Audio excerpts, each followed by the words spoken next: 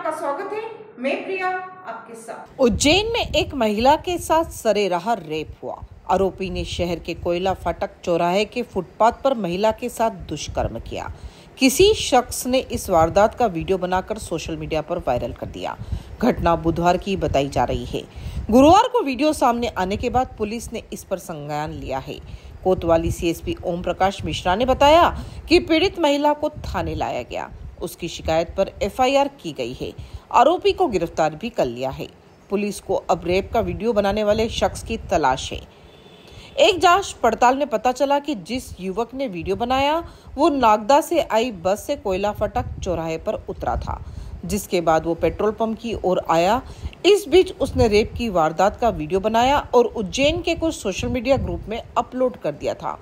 Police आसपास के CCTV footage और लोगों से पूछताछ कर युवक की तलाश कर रही है। पता चला है कि पुलिस ने इस युवक का मोबाइल नंबर ट्रेस कर लिया है।